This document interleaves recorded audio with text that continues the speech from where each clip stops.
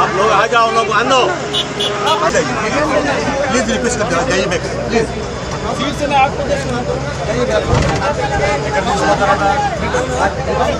आपको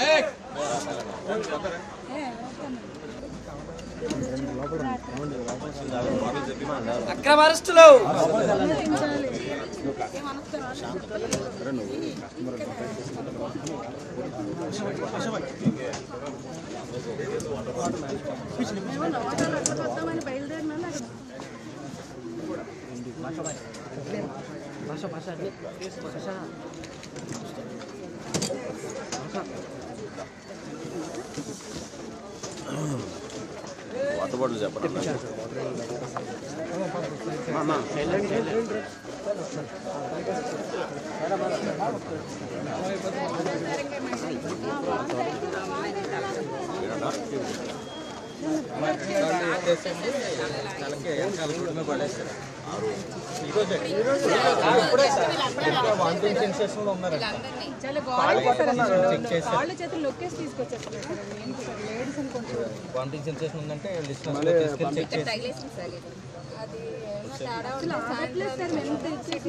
వచ్చేసారు కాల్ పట్టి కాళ్ళు చేతులు తోసేస్తున్నారు ఆ రోజు ఆ రోజు రోడ్డు మీద ఆపి పవన్ కళ్యాణ్ గారు చెప్పారు ఈయన.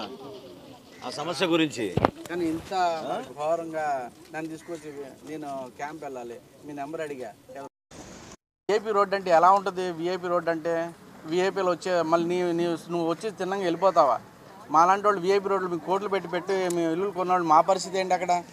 అంటే గుడిసెల్లో ఉంటున్నావా మేము? ఇలా అర్థం చేసుకోలేకపోతున్నారు. రోడ్లు ఆపడం ఏంటి? రోడ్లు బ్లాక్? చేస్తున్నాను. ఎక్కడ పడితే బ్లాక్ చేయడం ఎక్కడ బ్లాక్ అసలు దానివల్ల నీకు ఉపయోగం ఏంటి? నాకైతే అర్థం కావట్లేదు అన్న. ఇప్పుడు నువ్వు కూడా రావాలి కదా. నువ్వు వచ్చి తొర్రుగా వెళ్ళిపోతే ఎలాగా? ఇప్పుడు ఫ్యామిలీతో మేము ఉంటాం. పిల్లల్ని తీసుకెళ్ళాలి. టింపు స్కూల్కి అంత ఇబ్బంది పడుతున్నాం.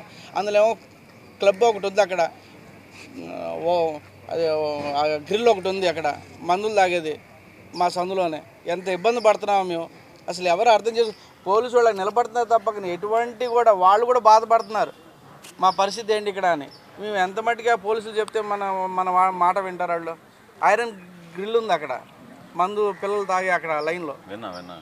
టింపనీ స్కూల్కి రోజు వచ్చి వెళ్ళే వాళ్ళకి మాకు ఎంత ఇబ్బంది? ఇబ్బంది? మన యాక్సిడెంట్ ఎంత ముందు పోయి యూటర్న్ చేసుకోవాలి అసలు? అసలు క్రాస్ ఇలా వెళ్ళి ఇప్పుడు టీవీ షోరూమ్ బ్యాక్ సైడ్ నుంచి వెళ్ళాలి వస్తుంది. అంత కర్మ ఏంటో మాకైతే అర్థం కావట్లా.